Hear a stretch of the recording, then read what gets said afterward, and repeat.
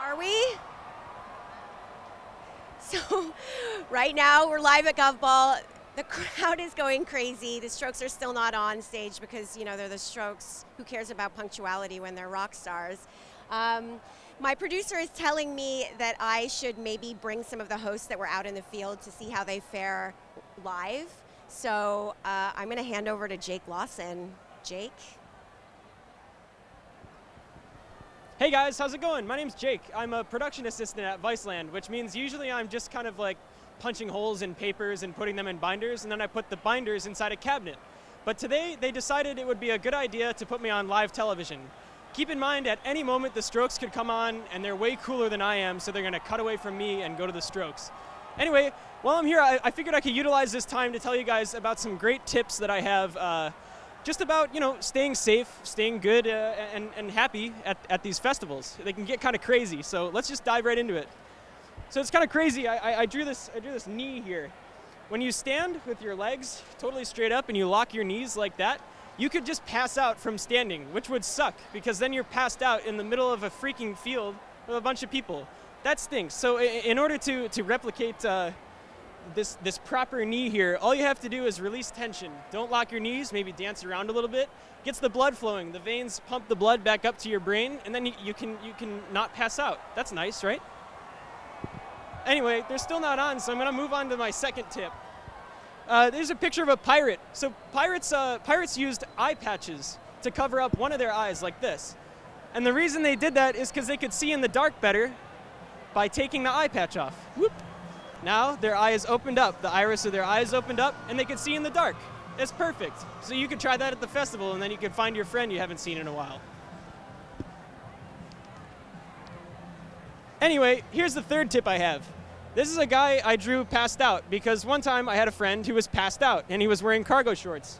Let's assume his name is Dan, okay? So Dan's passed out on his side. And uh, one of the things that you should do when you have a friend who's passed out is gently roll them onto their side so they don't barf in their own. Can we say barf on live TV? Okay, okay. So the, you, you, can, uh, you can keep your friend from barfing in his own mouth by putting him on his side or her side. And uh, then you'll all have a terrific night, a safe night. Another thing you can do when you have your friend who's passed out at a festival is to, uh, to find somebody with a walkie-talkie. You probably won't have cell service. I don't have cell service here, which sucks. So find somebody with authority, with a walkie-talkie. Boom, you can have your friend call an ambulance, and then like you know, you probably won't get in trouble, and your friend will survive. That rocks. Anyway, here's one of my last tips for you guys, and then I hope to pass it on to the next person. So uh, sunburn's a real big deal, and I had it recently, and it sucked. And I got it from UVB rays. So apparently there's two types of sunburn, UVA and UVB. And uh, the sun shines down onto your skin, and, and UVA just hits the, hits the epidermis, which is the, the, the really deep part of your skin. But then UVB rays just, just burn the, the skin surface. So uh, UVB rays come out when it's cloudy, so people don't put sunscreen on. But then they get burnt, and then they get, they get sun poisoning, and it sucks. So when you're at the festival, maybe tomorrow, just go ahead and throw your, uh, throw your sunscreen on, slap it on your skin. I'm sorry? Yeah, yeah. Let's. Uh, I got some more friends who are standing here, and uh, we're all equally as cool. So I, I was hoping to have them come on too. Use this mic. Thank you, Jake. Um, hi, I'm uh, Eric Sundermann from Noisey, uh, and we're live here. We're at Governor's Ball. Uh, we showed up pretty early today, I think about 11 o'clock. We're still waiting for the Strokes. Um, they started to play music, which is never a good sign when you're waiting for a band. Um, and so we're here and we're hanging out. So I think I was just, I'll tell you some stories about the things we did today. I ran into a guy, I actually interviewed, I feel kind of honored, I interviewed the first person in line today. Uh, he was a Strokes fan. I don't remember his name, but I think it was Keith. He was here with two girls. He seemed very excited. Uh, his favorite stroke he couldn't name. Uh, and then we talked to a few other different people. Um, we kind of we watched the uh, uh, what happened uh, at the security gates today, getting in, and and um, I, I, the security did their job in that I think they're allowing all of these great people having a good time tonight. Um, and so, I don't know. Uh, and so, we're here and we're waiting for the Strokes. And I, Eric, I think that Jake is actually winning right now. oh Let's- man, let's pass it Jake's on to winning. someone else. Oh man, uh, Jake's winning. Okay, who's jumping up next? Hi, uh, I'm Sylvia from Memphis, Tennessee. Um, I'm actually the production assistant, so I had no idea I would be getting up here doing this hosting audition until 10ish minutes ago. Otherwise, I would have brushed my hair and maybe done like two or three push ups, so I would have come out here looking uh, really toned. So I'm going to tell you a story that has absolutely nothing to do with music. All right, sorry, festivals. sorry, Sylvia. We're gonna stick you. Like, you're a great production assistant. Let's just let's get let's get someone else on here. Okay, Dan. Here we go, Dan. We're live, Dan. Hi, everyone. My name is Dan, and I am the equipment manager for Vice. And they made me come to this festival today because I've never been to a festival in my life. And then my producer asked me to go on live TV because I've never done that before either. Uh, so far, my experience of both of these has been pretty pleasant. Uh, festivals are actually, I'm learning, an okay thing to do. Uh, it's not something I would usually choose to do. There's an awful lot of people here. Uh, there hasn't been a lot of music so far. It's been mostly sitting around and standing around and waiting in lines and looking for food and looking for shade. Uh, but I think the music is about to start, which is supposed to make it interesting. And I'm looking forward to that. Uh, I don't really know how to do this by myself. I kind of you're, wish. you're from Iowa, right? yeah, I'm from Iowa. Give us a story about Iowa. Everyone wants to hear Uh, that. you think somebody wants to hear about Iowa? on Everyone wants to hear about it. the people in Iowa are watching. The people in New York are here. So why would I want to tell them? They already know everything about Iowa. There's nothing to know about. I mean, hey, everyone, if you're at home watching this, I'm sorry, but you know there's nothing to know about Iowa, except for corn and pigs. They don't have strokes there. They have strokes here in New York at Governor's Ball. I'm gonna give you. else. Let's. let's uh, are you, you seem like This you're is dead okay air. there. I kind of want you to keep now going. we have dead air. So the thing about dead air, oh, I'm talking to the camera. Let's get Taji in here. Yeah, I need some help here. Hey, Taji, since I'm not a TV personality, I have my friend Taji here, who is also not a TV personality. He used to be my intern at Vice. Uh, it, how, how are you? how's it going, Dan? Pretty good. What's it like being on the live TV? I don't know yet. I haven't seen it. What do you think about this crowd here? I think that they look ready for the strokes. They keep kind of fooling us, like they'll put a live sound where it sounds like the mic hit the ground or think they're doing that to get people to show up. But But, I don't they- see why they need to do that because it's already like, looks like te- 20, 30,000 people here. The producer, do we know how many people are here? Tens of thousands, I think. Um, so these tactics that they're using seem almost redundant. And it's something I'm not sure I appreciate because it's got me in this situation. I agree. Do you have a lobster joke to hold us No, over we don't want to do any they? lobster jokes. Tell me Uh, the thing you were saying earlier about how you were afraid to be on live TV because your mind may fail and you may some, Oh. say something that will ruin your career forever. Yeah, I was just thinking back there and chatting with Dan. It's a little harder to express it on live TV than when we were just in conversation, but I was just thinking that if you say the wrong thing, this could really be it. Like right now, we're kind of, our mind is in control of our future. The point of this is, is Vice has never done a live broadcast before, and we're doing the best job we possibly can. And you guys are gonna have to excuse us because we've never done this before. I think. Yeah, basically, I was just kind of scared that I might say the wrong thing. I think we should try so another I'm host out for a Trying bit. my best not to. What would the wrong thing to say be? You want us to say the wrong thing. I think that's a bad idea. I have some ideas, we, things we could say. What can we say on TV, Dan? Julian Casablancas is a wonderful singer. Oh yeah, I just wanted to say I think it's really cool that we're here actually about to see the Strokes live because I've always liked the Strokes. I No, you remember haven't. I swear, I'm not Bull- kidding. bull crap. Back in the day, my friend, do you remember Scotty Shorts from you know I don't even know what they sound like? Oh, they had that song about last night. Yeah, he skated to Is that that. you song? don't remember the video? Last There's- night. So there's we're a gonna hear that. There's a skate video that they right, used don't the. Strokes song, but we're so I wanted to reference that because I used to really like the video, and now I'm here on live TV about to watch the Strokes perform. So just a little personal story that I wanted to All right, to. so our viewers out there, just you know, what would you like to know about the Strokes? Go ahead and email the sheets, the seats, the seats. the seats. Our view right here is pretty good. It's pretty awesome. I like it because we're not in the crowd. Do we have any shots of the crowd we can cut to? We should probably cut to some crowd shots right about now. Can we maybe just punch in for a second? I think they should punch into the crowd. Can we punch into the crowd Can for a moment? in? Can we zoom in on them? You should zoom in on Taji's mood meter. No, oh yeah, no, I guess I that. can talk about my mood no, meter. no, no, no, no, no. Um, I'm trying to think if I was watching this, what I would like to see. Do you have any more safety facts for us, Jake? Yeah, I think we should bring. Oh yeah, why don't we bring on Eric? Yeah, can we have Kyle maybe? Have we had Oh, Kyle, Kyle. So what? Are we still Dead live? air, dead air. Are we Whenever there's live? Dead air, we just say dead air. What I That's how also you make sure the executives don't cut us. Yes. All right, they did good. what I wanted. All right, All right, let's talk about the crowd. That's a pretty cool Keep your phone. shoulder open to the thing. That's kind of a cool cell a phone cool down there. What do you think? It- It's a pretty Uh, cool phone. Uh, oh, look at that big lightsaber thing. Can we get a shot of the lightsaber? No, they can't get shots of anything. Because we're not the technical director here. But it's kind of hard to mix. All right, so we have three people right now. They look pretty cool. Those are These people look cool. those are cool people. They're, They're, waiting. Waiting. There's definitely a lot of anticipation in the air right now. It's a patience game, festival attendance. Last time I attended a festival, I waited forever. Let me know when we're back, cause I was gonna try out some of my stand-up. Are we back? Are we back? Oh, Oh, those guys look really sad. Why are you holding that to me? Oh, it's such a shame when people go to try to do something fun and then they get sad. Oh man. This is Let me know we're back, cause I I gotta. know what? The U.S. government should hire me because I'm as good at tanking as Abrams is. they make the tanks for the military. Abrams. So we're making a quick lighting adjustment in case you guys are wondering what's going on. Oh, we're still in the crowd. That's, That's probably for the best.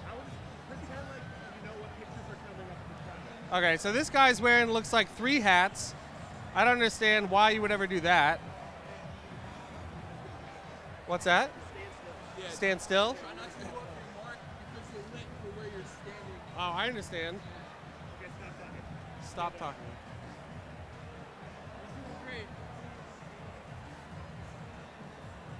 I'm gonna get fired for this. Yeah, we blew it. Well, I blew it. Am you were I? doing pretty good until Did I I came sign on. something to say I can't get fired for this? You were doing But this isn't about me. This is about the festival. you were doing really well too until I came on. What? You were doing What? really well until I came on. I was not.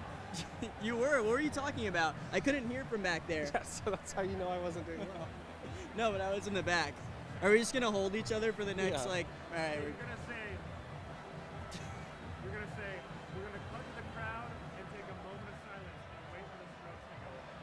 Okay.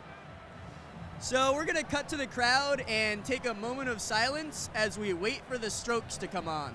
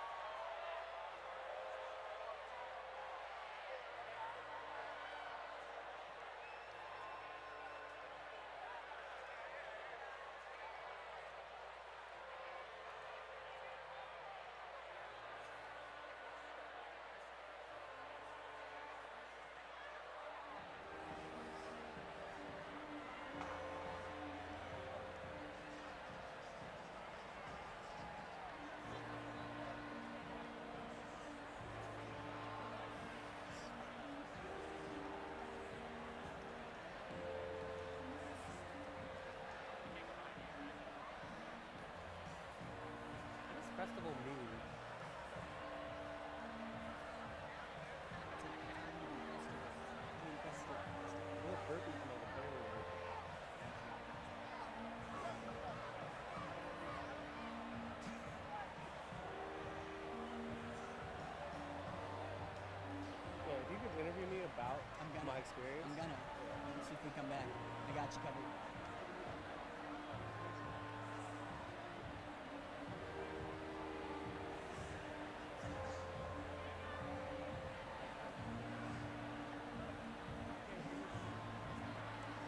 So Dan, you came in today not having ever been at a musical festival before.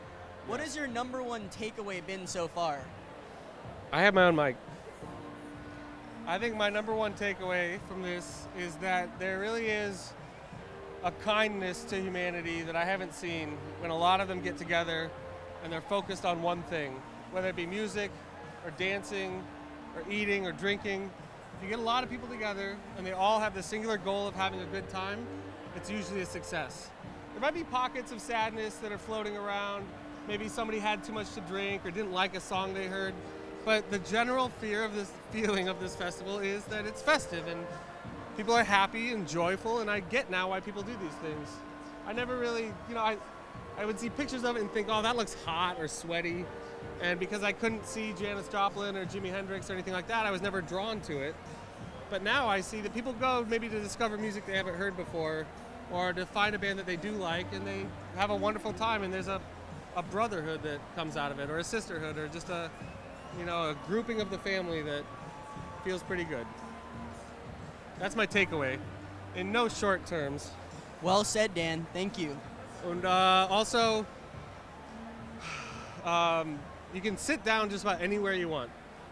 That's, a pretty big deal. That's another cool thing about the festival. Yeah, you kind of just sit everywhere. and roam as you please. I wouldn't recommend sitting now that it's dark out.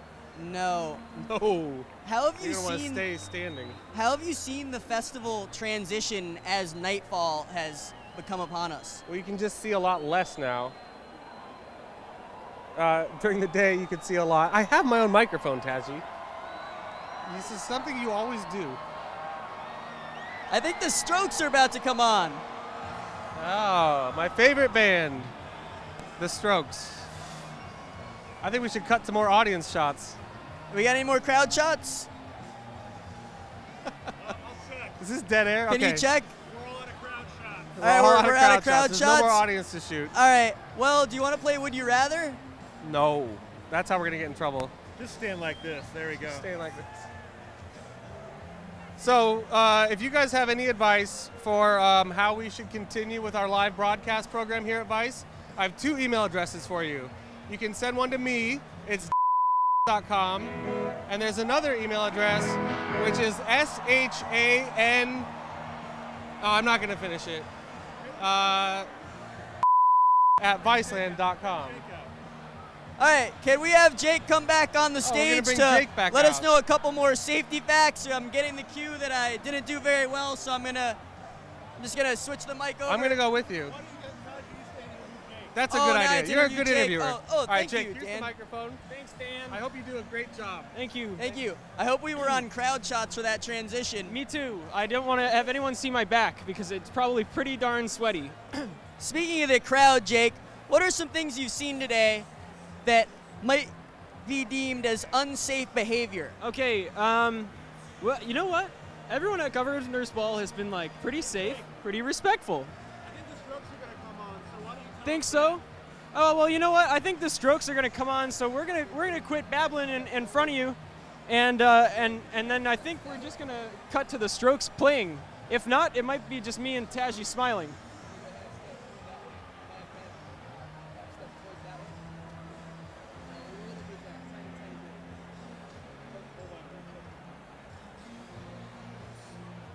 Jake, any safety tips for when the strokes do come on? Yes. Uh, well, if the Strokes do come on, I think that you, got to be safe by not rushing the stage. Right now, I see at least. I'm trying to count them, but there's too many. There's a lot of people uh, nearing the stage. Uh, I think that they're about to, to come play. So And roll tape to the strokes.